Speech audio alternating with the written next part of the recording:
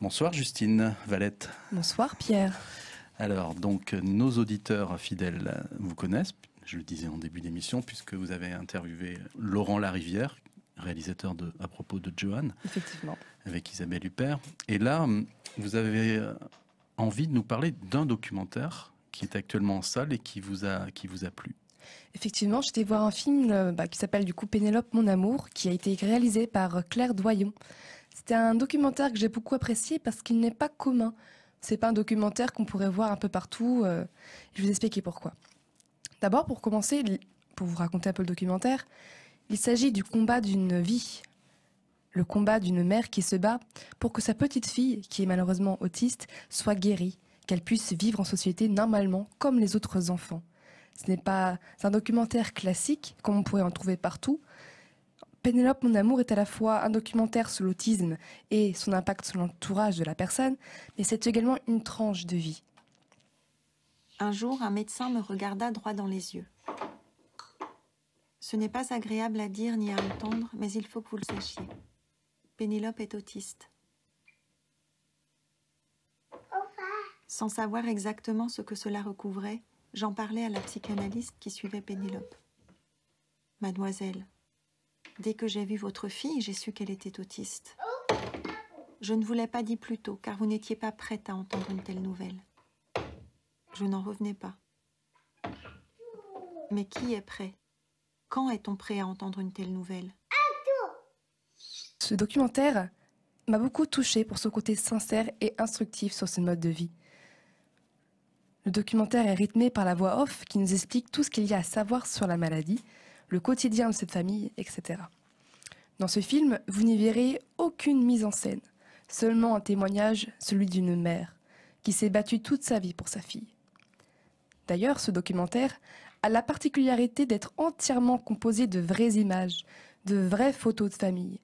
Ne soyez donc pas surpris par la mauvaise qualité des images, qui remontent maintenant de quelques années, et le cadrage qui n'est pas forcément idéal. Ne jugez pas trop vite ce documentaire sur la qualité visuelle, parce que vous, perdrez ce côté un petit peu plus profond de ce film. Vous perdrez ce qu'il y a vraiment à nous montrer. Le fait que ce film soit fait uniquement d'images, de, de souvenirs de famille, donne une vraie sincérité, comme je l'expliquais, comme on en voit rarement dans les documentaires. Une sincérité dans les sentiments, dans les faits, et une sincérité dans ce qu'est de vivre avec un enfant autiste. On ne vous montre pas une vie qui n'a que de bons côtés, bien au contraire. On y découvre tout ce qui implique cette vie. C'est d'ailleurs l'objectif de ce film. Ce film n'avait pas à l'origine le destin de finir en film pour un public ou sur, un, un écran. En tout cas, ça ne se voit pas. Il s'agissait uniquement de créer des souvenirs d'un début de vie, de la naissance d'une famille, de la naissance d'un enfant. À la place, il s'agit d'un point de départ, le début du combat d'une guerre acharnée pour une guérison qui n'arrivera probablement jamais, le simple fait que ces images n'étaient pas destinées à un film ou à un documentaire nous montre l'authenticité de cette vie, les critères essentiels pour un documentaire. D'ailleurs, la voix off, qui est celle de la mère de Pénélope, qui est donc du coup la petite fille autiste, nous explique point par point ce qu'elle a ressenti en vivant avec sa fille, ce qu'elle a vécu de plus dur et de plus beau parfois, elle nous raconte simplement les faits sans essayer de les cacher, de les camoufler ou de les, de les idéaliser. C'est vraiment, elle est entièrement sincère dans ce qu'elle nous explique et nous avoue sur ses sentiments qui sont très contradictoires et ressentir à sa fille. Elle en fait, elle ressent un amour inconditionnel pour sa fille, mais elle ressent aussi une grande souffrance, l'impuissance face à la maladie.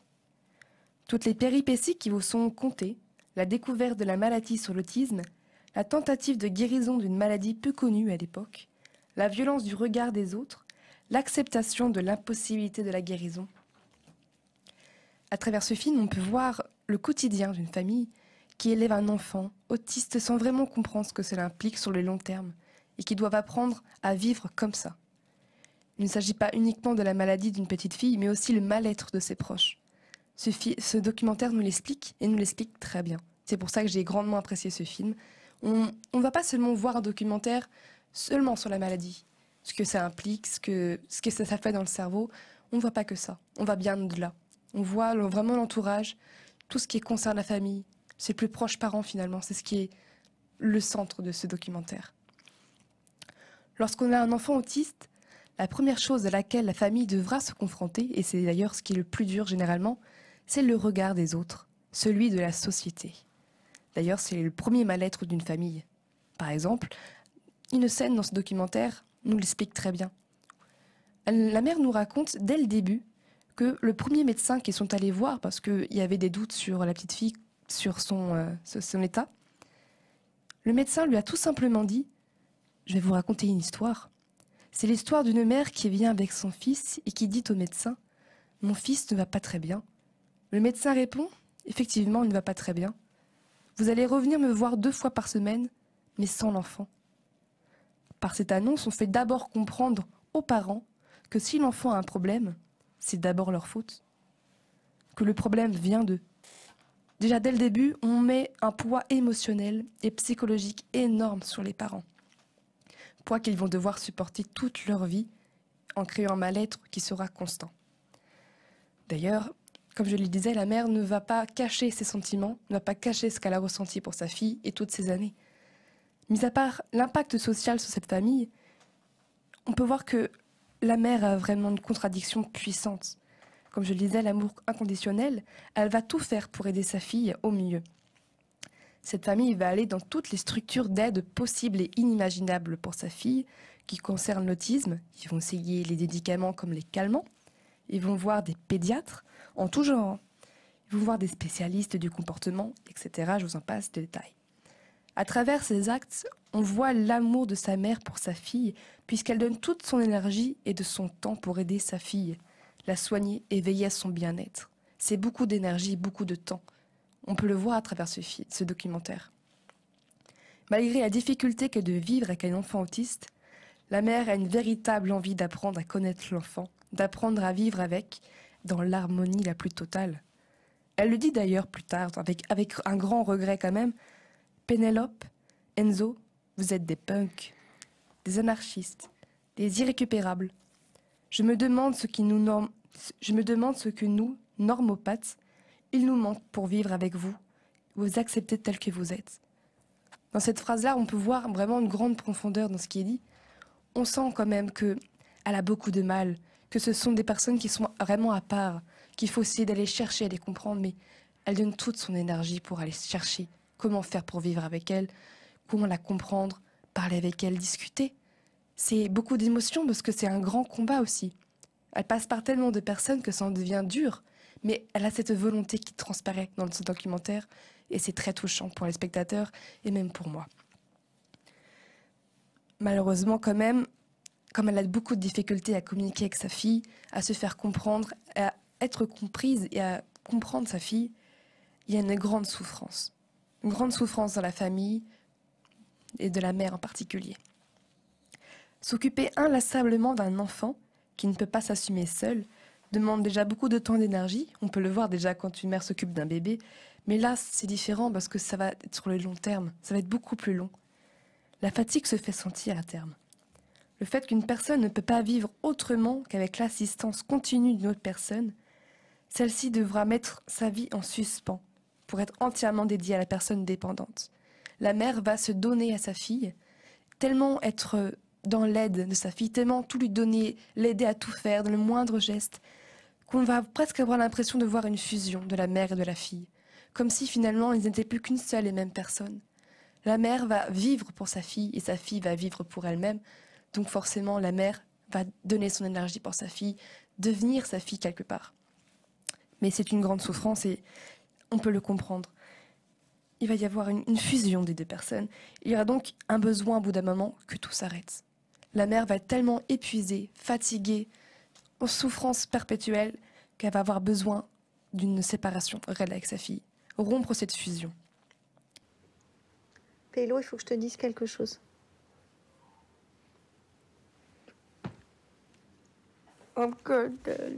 Oui, Pélo. Anna, la directrice de Maya, a trouvé un lieu de vie pour toi. Et ton papa et ta maman, Nicolas et moi, on a dit, on l'a accepté, on a dit oui.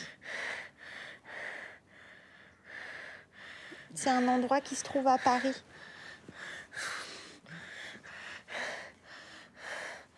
Et on pourra venir te voir quand tu veux et quand on veut.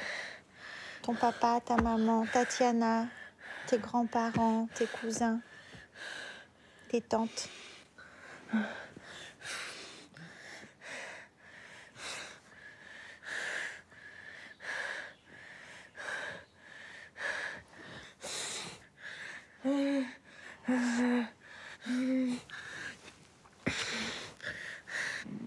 Tu m'entends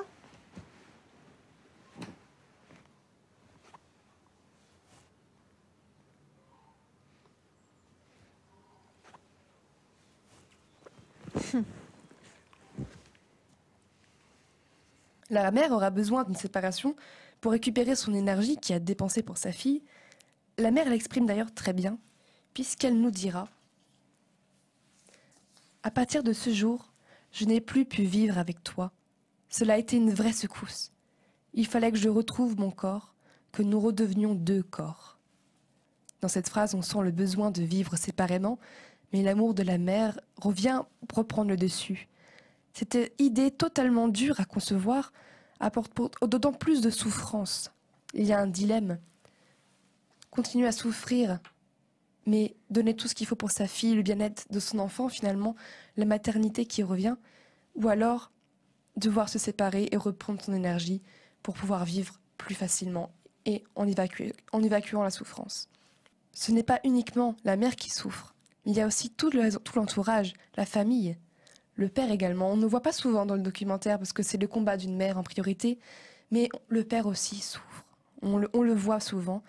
Et l'une des phrases qu'elle nous dira pour nous montrer cela, le père dira à sa femme Je ne voulais pas ça pour nous. C'est une petite phrase, mais qui veut tout dire, qui montre bien toute la souffrance et l'acharnement pour essayer de sauver cette petite fille qui malheureusement prend tout leur espace dans leur vie. Pénélope, mon amour, est un documentaire qui est la démonstration même de l'espoir, la tentative désespérée de mettre des mots sur une situation, d'exprimer à la fois l'amour d'une mère inconditionnelle et la souffrance, la souffrance d'être impuissante face à la maladie, impuissante face à l'autisme. C'est un film, c'est un documentaire haut en émotion, et si vous voulez vraiment en apprendre un peu plus sur l'autisme, et aussi sur ses impacts sur l'entourage, la famille, qui sont d'ailleurs les, premiers berceaux de la maladie, je recommande de le voir sous un œil purement éducatif. Merci beaucoup Justine pour cette, présentation très touchante de ce film Pénélope mon amour qui est actuellement en salle euh, en Ile-de-France et dans d'autres villes françaises. Mais j'ai remarqué quand même quelque à deux reprises, vous vous êtes repris reprise. Euh, vous avez dit euh, ce film, euh, non, ce documentaire. c'est comme si votre génération, peut-être pas le même rapport au documentaire que, la nôtre, que les plus anciens. Et donc, pour vous, un film, c'est forcément une fiction scénarisée. C'est très intéressant parce que je ne m'attendais pas à ce que vous repreniez là-dessus. Bah, le truc, c'est que comme je le disais, c'est pas un documentaire comme je pourrais le voir à la télévision, sur Canal+, etc.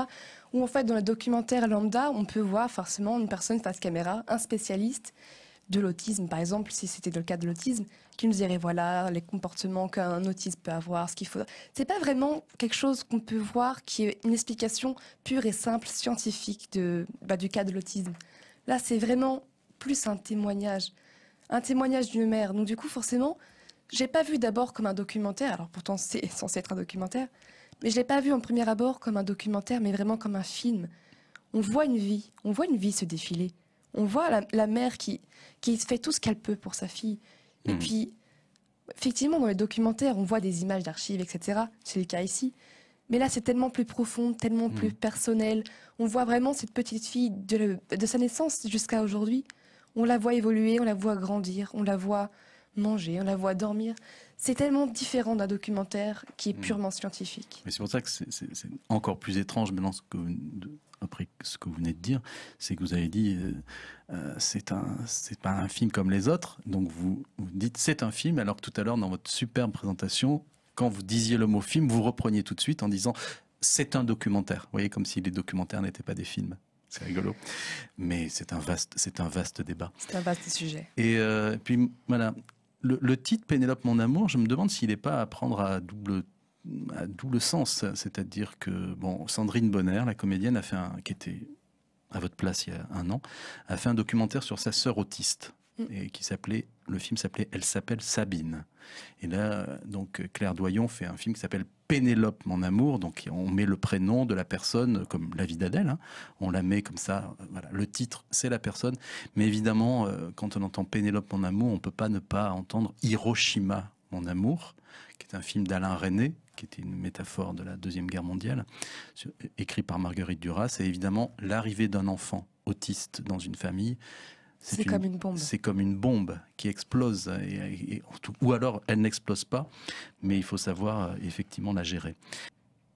Merci beaucoup Justine. Merci à vous. C'était un texte euh, très intéressant sur ce film, Pénélope mon amour, qui est actuellement euh, en salle, donc en Ile-de-France et un peu plus loin.